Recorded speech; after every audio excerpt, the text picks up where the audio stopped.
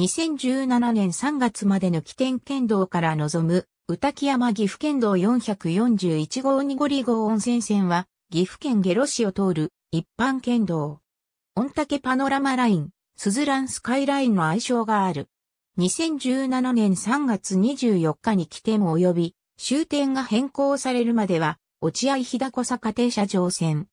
2017年3月24日に従来の起点から2200メートルが供用開始され、ニゴリゴ温泉が起点。起点からスズラン峠付近までの長い区間にわたって、ゲロ市と高山市の境界に沿うように尾根直下を非常に曲がりくねって西に進む。この間は、御嶽山が眺望できる。スズラン峠付近からは、小黒川に沿って下る。同市の落合交差点からは、岐阜県道437号湯屋温泉線と重複し、小坂川に沿って北西に進む。国道41号をアンダーパスし、同市の小坂町交差点が終点。県道2五里号温泉線の前身は、県道落合飛騨小坂停車場線である。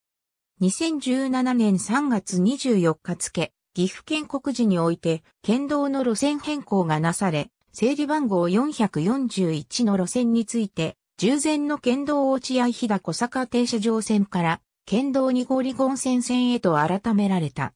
この際に、起点、終点も変更されて、起点は、下呂市小坂町落合から、ニゴリゴ温泉、終点は、日田小坂停車場から県道下呂小坂線交点へと変更されている。